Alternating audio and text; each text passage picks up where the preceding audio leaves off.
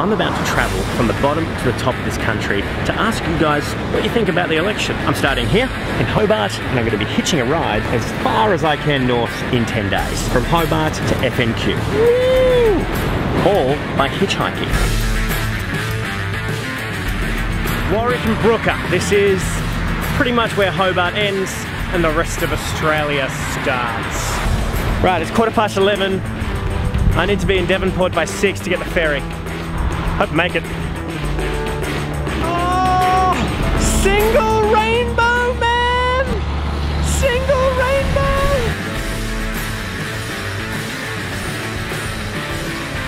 So tell me, Brian, this is a, uh, a show where I interview people about their thoughts on the upcoming election. How do you feel about it? Oh, I've got some pretty strong views. Your strongest point of view, what would it be? Muslim immigration. Uh, I think, you know, I might be considered a redneck as such, but I think um, there seems to be such a, a, small minority in Australia, less than 2% I believe. There just seems to be so much about them, you know, whether it be the halal, um, the, the, the, tax on the food.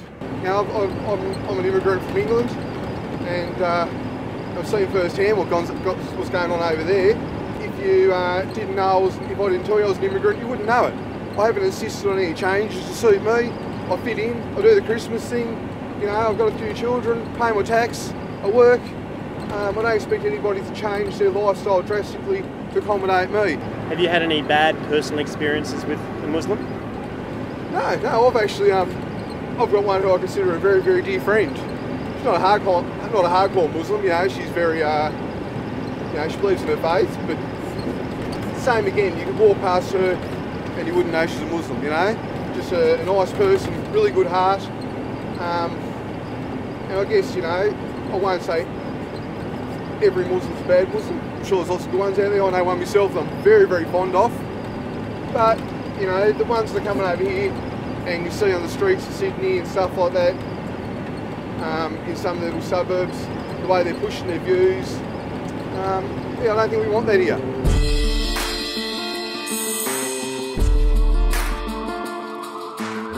Well, that was Brian. I think Brian was a pretty interesting guy, you know. He, he believes in borders, he believes in reforming the family court. The great thing about getting out of my bubble is meeting people like Brian. There's probably a lot of people like him. Australia is a very diverse place. It's certainly not that diverse in Brian's mind. Brian certainly challenged a lot of the things I believe in. It also gave me hope because he was a really lovely guy.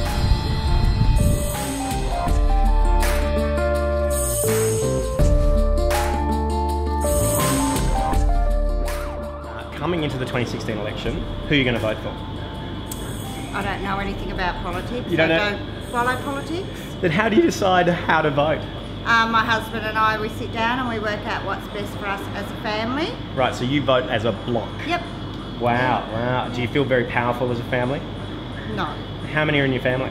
Uh, we've got five children between us. Five children. If all those five children voted, that's a significant amount of power in Tasmania. Do you know senators are fighting over a number as small as 25,000? So your five in 25,000 is statistically quite powerful. Mm -hmm. How does it make you feel? Um, that means nothing to me. Talking to me about politics is like asking a duck with no legs to swim in a pond. Right, right. I thought I wouldn't make it to the ferry, but thankfully someone gave me a ride. Well, it's been a pretty crazy day. I woke up in Hobart and now I'm in Devonport, about to get to Victoria by the morning. Ooh, so shiny. Boarding the Spirit of Tasmania is like going into Crown Casino. Hope there's pokies on board.